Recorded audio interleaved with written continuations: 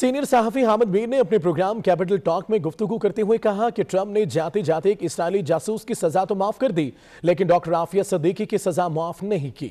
इमरान खान जब वज़ीर आज़म नहीं थे तो डॉक्टर आफिया का बहुत ज़िक्र करते थे। वज़ीर आज़म बनने के बाद उन्होंने इस पर ज़्यादा तवज्जो नहीं दी। उन्हें नए सदर बाइडन के साथ ये मामला ज़रूर उठाना चाहिए। उन्होंने क्या कहा? आइए देखते हैं।